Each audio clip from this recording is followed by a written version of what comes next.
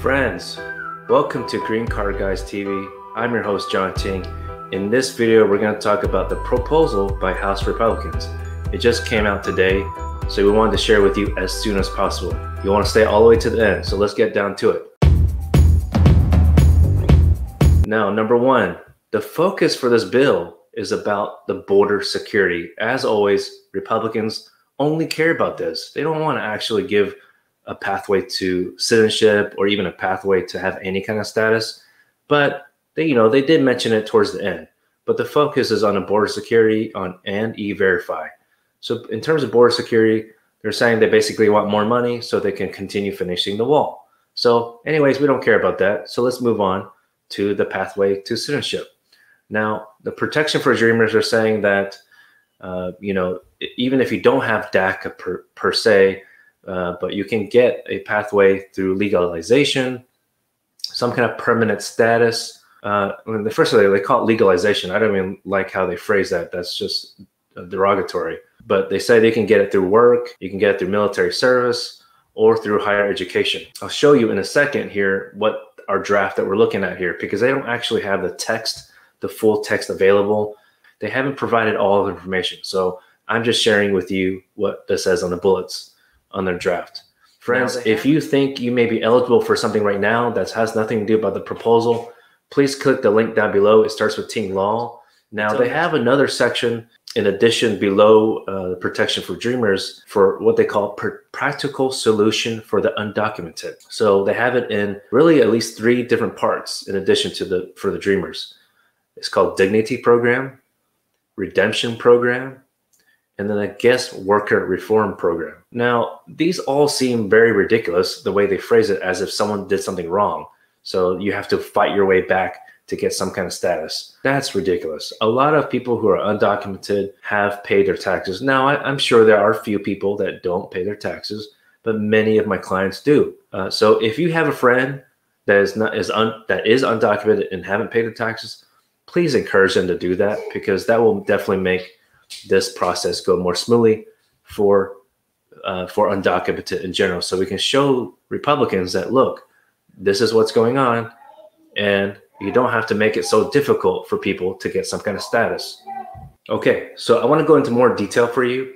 The Dignity program, they're talking about it taking 10 years. It basically does provide a work visa, a work permit for the undocumented who comply with all federal, state laws, and pass a criminal background check, pay back taxes, and start paying income taxes and remain employed. So that is pretty ridiculous for them to say because a lot of my clients, like I said, are undocumented, right? And they actually do pay their taxes. Now, I'm, there are a few that did not, but we had to encourage them and tell them, yes, you actually do need to pay your taxes because that is one of the main things that judges at least look for.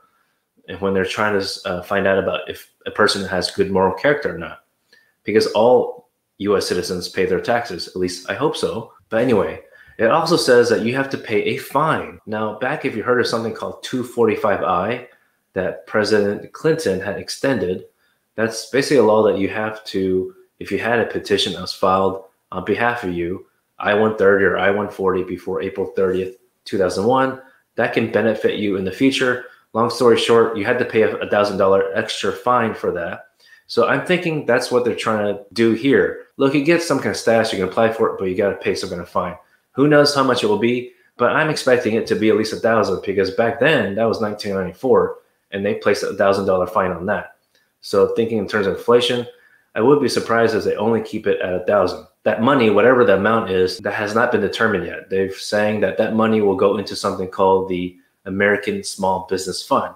So that part I do like. At least the money is going to something specific that we know about. Back to the Dignity program, it's actually temporary for the first 10 years. Now, so that's a very concerning part. It only says it's only for temporary as long as conditions are being met, which I believe that they're talking about paying your taxes. It says this in this program, the Dignity program, individuals in this program will not have access to federal means tested benefits or entitlement. We'll go in more detail once we get more information. It also says that successful completion of the, the dignity program would provide an indefinite renewable five-year visa to maintain work permit and legal status. not permanent legal status, not like permanent resident status. And that is this dignity program is not for dreamers. That's a separate pathway. Now, going on to the second phase called redemption program. This is for five plus years. This program they call optional. You must complete first the 10 year dignity program to start the redemption program. Okay, so it's one by one. To earn the permanent status, resident status, you have then you must you also must learn English and US civics, which I also sure you know some already because especially if you've been watching the news the past year and a half, or really the last four years with President Trump in the news. The other thing to know though is that it's saying you need to contribute, you must contribute to the local community either through volunteer work, which but this sounds a little strange because by what they're using the words must, it sounds mandatory. So hopefully that they make it open so that you can choose whatever organization you want to volunteer with. So it says you have to uh, contribute to your local community through volunteer work or through contributions to the American Small Business Fund, which we'll talk about in a second. Now, the third program they call the guest worker reform. This is for something called H2A, which is for agricultural worker visas, uh, and also something called H2B. So if you're not working in the farm, uh, you, you're probably not familiar with this at all. So H2B is for other uh, type of visa as well. But in this guest worker reform, they're, they're wanting to implement something called E-Verify. E-Verify would force employers, boss, your supervisor, human resources to verify your legal status, your ability to work.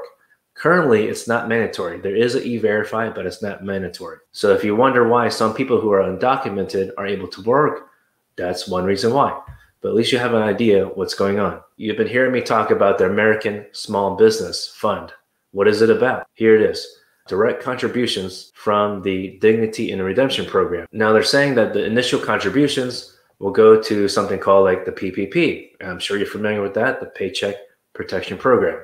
And they're trying to fund something so that the federal government does not have to provide, uh, basically, print more money out of the blue. So, and they're saying that money deposited into this PPP can go directly to American small businesses, which actually does make sense. It can it's really like a cycle essentially to help pe- to help businesses keep employees on on the team on the staff so they can keep paying them. Uh, so to that extent, I can understand that. That's a good thing. They're using that money for a specific benefit to benefit everyone. Now it's saying that once the economy is has recovered and the crisis is over, this money will go to workforce training initiatives to help US um, citizens transition to different careers. In that sense, I'm thinking also military veterans, because I know it's been difficult for some veterans to uh, get a job or get different skills in the civilian workforce. Okay, friends, well, here it is. Here's a dignity proposal draft. So it's only one page so far. Okay, it's only a bullet list.